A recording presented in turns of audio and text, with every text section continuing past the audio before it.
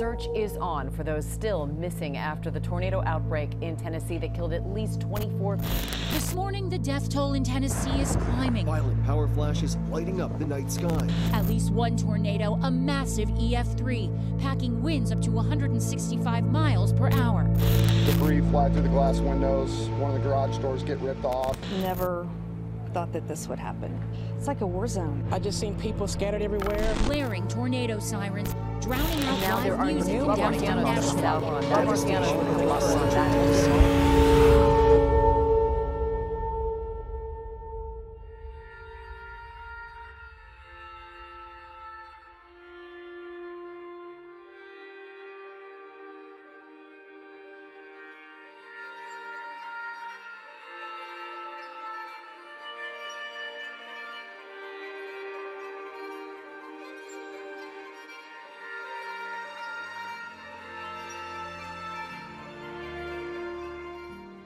So, this is day two of cleaning up and rebuilding, and uh, it's actually looking a lot better than what it did yesterday, which was pretty devastating to see the houses and the condition that they were in. Uh, but it's really cool to see everyone kind of come together and help out in any way possible, bringing food and helping throw away debris and organizing and trying to save all the memories that they can that are still left in their house. So it's cool to see the Nashville community kind of come together and help each other out. So I'm going to walk around, see if I can talk to some people, and um, then start cleaning again because that's why I'm here. So let's see what we have going on.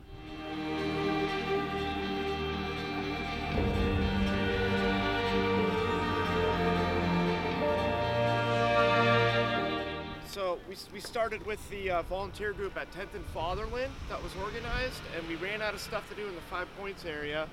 So I had been through Rosebank yesterday and noticed it was pretty bad. So we're out here today, uh, bringing volunteers out and making sure that everybody has food and water.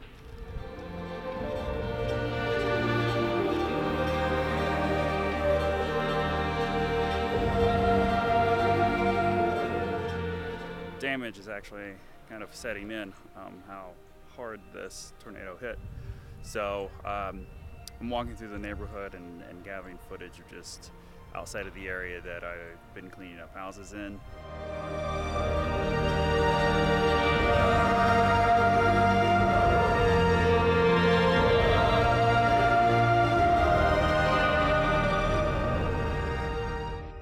Yeah, so we're just out here in East Nashville, two days after the tornado.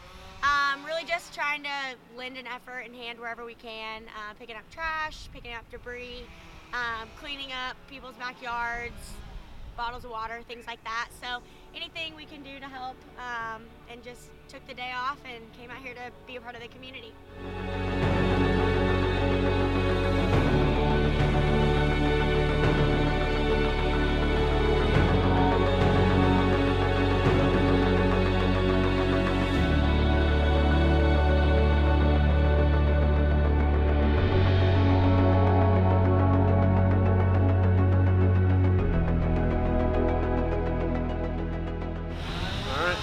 Can see here, the whole neighborhood's pretty much damaged. Looks like every house has been touched, but the great thing about it is it's bringing everyone together. You've got people I've never met before, never seen again before.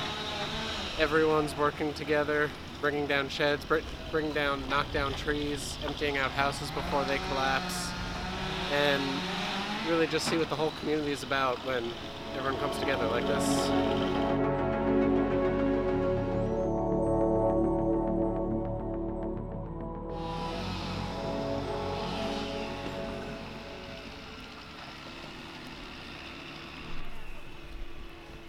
What'd you say? I said, Oh no, now the camera's on you. Oh, now the camera's on. I said Yeah. we, we were walking down the street and we came around the corner and was like, oh my god. No so we did all of this. all of this was it wasn't happening. It was all trashed, and this is what it looks like now. We did all of all of that. People coming together Yeah. and knocking stuff down. So it started with uh, three people saying, "Hey, uh, you want some help with the cutting stuff down, pulling things out?" And they were like, sure, we've not even looked at the backyard yet. And uh, we saw one guy, and he was like, hey, y'all need help? And I said, yes. And he said, okay, I'll call some people.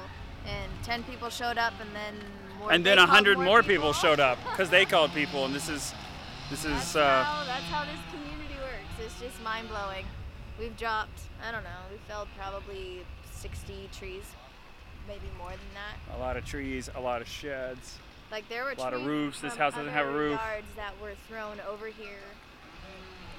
But this house is gone. The house next door is gone. That house is gone. It's just, Yeah, it's. it's really here, guys. this is We were at this at like 10 o'clock in the morning. this. 11. Some, yeah, 10 or 11. Voila! Voila!